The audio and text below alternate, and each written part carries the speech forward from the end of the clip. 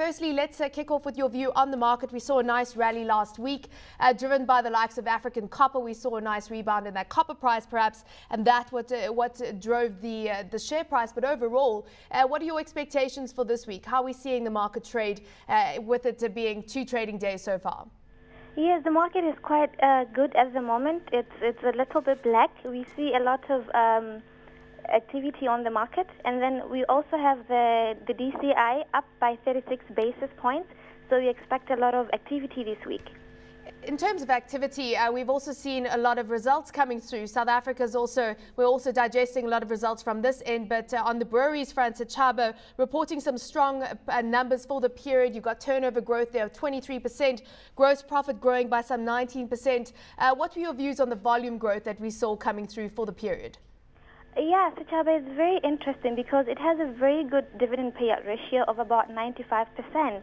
And then we also see the, the, the an increase in, by 23% because of basically the amendment of the, the levy, which actually uh, is one of the reasons why the price, is, the, the, the growth was actually, the turnover is actually has, has grown I mean, that is, of, of course, an issue that uh, many alcohol companies have to face with across the board, increasing regulation, increase, increasing taxation. Uh, would this be one of the reasons that you might uh, shy away from investing in a company, li a company like Sechaba, or are we just seeing such strong earnings coming through and such strong demand coming through that uh, that counterbalances all the concerns around increased government uh, regulation?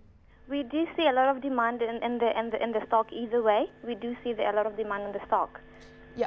Uh, moving on to the uh, tourism space, Chobe also coming through with some results there, tourism operator over in Botswana. Uh, what type of numbers uh, did we see coming through on that end? Yes, for Chobe, revenue grew up by 19%, which I think is actually very good, despite the soft market and with what is happening in the Europe, uh, you find that Chobe is actually doing pretty well doing pretty well, but of course you have to look at how sustainable earnings like this are in light of the fact that you know have a lot of uh, international visitors coming through to Botswana. Are you seeing a diversification in terms of the markets that uh, that Botswana taps right now in terms of tourism revenue?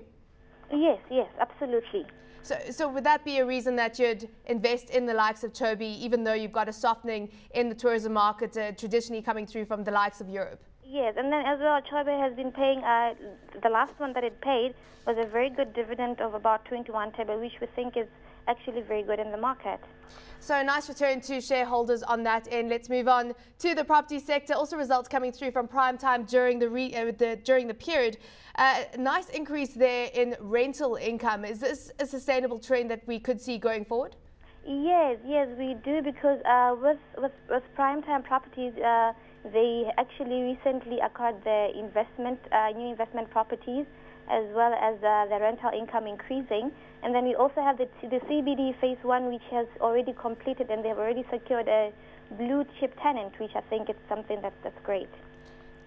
What are your thoughts on the diversification of their property portfolio right now? No, I think it's actually good because uh, also now on the edge of acquiring Boiteko Junction as well as um, the G4S acquisition.